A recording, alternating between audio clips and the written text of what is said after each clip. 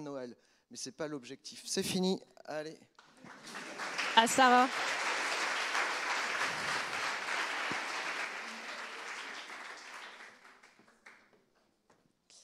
Bonjour, donc euh, moi je vais vous parler du package euh, NetLogo R. Donc c'est un package pour euh, créer et faire tourner des modèles individus centrés ou agents centrés sur R, qui soient spatialement explicites ou non. Et donc NetLogo R, c'est la traduction de NetLogo en R et NetLogo, donc c'est un environnement pour faire de la modélisation individu centrée. Donc les modèles individus centrés sont des modèles de simulation bottom-up. Donc on a les règles de euh, simulation de décision qui sont euh, décrites à l'échelle de l'individu. Et ensuite, on a euh, les résultats du modèle, donc l'émergence des patrons à l'échelle de la population. Les individus sont des entités uniques et autonomes. On peut simuler des interactions entre ces individus et ils peuvent avoir un comportement adaptable. Donc là, c'est un exemple pour représenter une envolée d'oiseaux. Donc comment, avec des règles simples au niveau individuel, on peut euh, créer des patrons assez complexes à l'échelle de la population. Donc là, pour euh, créer, pour simuler cette envolée d'oiseaux, il y a trois règles simples une règle de séparation, d'alignement et une règle de cohésion appliquée à chaque euh, oiseau simulé, à chaque pas de temps. Et donc, on va passer euh, à une envolée d'oiseaux simulée, donc ce patron très complexe. Donc, pourquoi utiliser NetLogo, donc le logiciel de base? C'est une structure qui est très efficace. Euh, l'apprentissage est assez facile et rapide. Euh, les autres avantages de passer donc sur R et d'utiliser le package NetLogo R, c'est qu'on a toute la séquence de la gestion des données, la création du modèle, faire tourner les simulations et ensuite analyser euh, les résultats directement sur R. Donc on ne change pas de logiciel. On peut aussi utiliser des objets de classes différentes, les rasters, les shapefiles, alors que sur NetLogo, on a seulement les rasters. Ensuite, on a la possibilité sur R donc d'utiliser NetLogo R pour faire euh, des modèles individus centrés, les simulations en parallèle, les nombreux packages et de la statistique assez complexe. Et euh, comme bah, vient de nous présenter euh, Yann, toutes les visuels qu'on peut faire sur R qui sont donc assez, assez jolis, alors que sur NetLogo, ça reste des choses assez basiques pour faire de la modélisation individu centrée, de la visualisation de ce genre de modèle.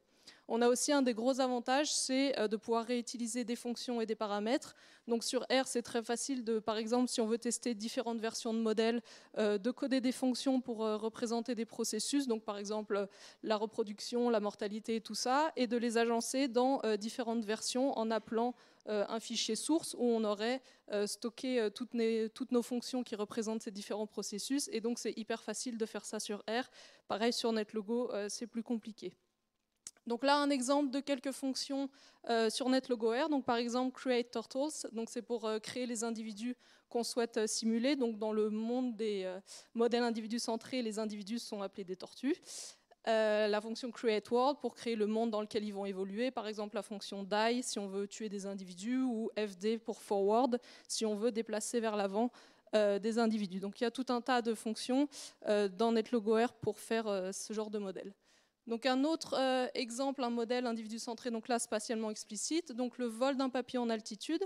Donc le triangle rose qui représente un papillon qui va se déplacer euh, de cellule en cellule.